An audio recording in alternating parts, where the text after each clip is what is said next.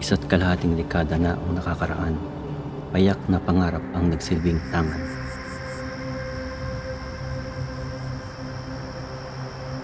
Ilang pagsubok at bigyati ang pinagdaanan. Wari ito na ang dulo at huling hangganan.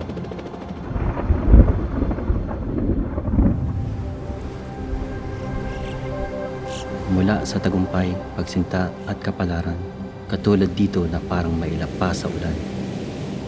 Pero sa dahilan mapangahas at hadikaing sapat na kasaganaan, anumang suliranin ay hindi inatrasan.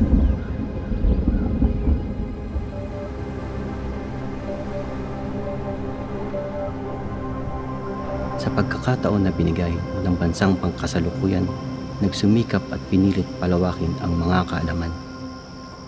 Gaya ng kisig ni Haring Araw na sumisikat sa tuwina, nagbabaga ang alab ng tiwala at pag-asa.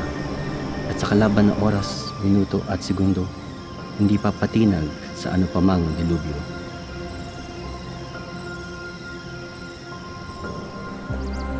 Kahapon, ngayon, bukas at sa inaharap, ito'y sasalubungin ng ngiti at pasasalamat.